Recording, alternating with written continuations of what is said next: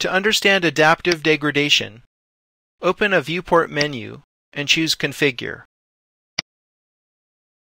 Switch to the Adaptive Degradation tab. This comes into play in large scenes, which tend to overwhelm the Interactive Viewport Renderer, or IVR. Whether you're animating or just navigating in a viewport, there are times when the IVR needs to degrade the rendering level in order to keep up with your desired frame rate. 5 frames per second is set as the default. And obviously, higher frame rates are harder to keep up with and are more likely to get degraded.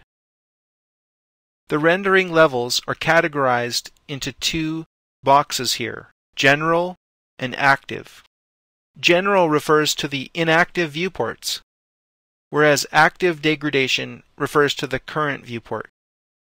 In the active degradation group, we have smooth and highlights checked. That's where we're going to start. When we start navigating or animating, and the IVR can't keep up, it will degrade to lit wireframe. Notice that the inactive viewports will degrade to wireframe. There's no reason to change these settings, and it's for your information only that I've brought you here. Let's cancel out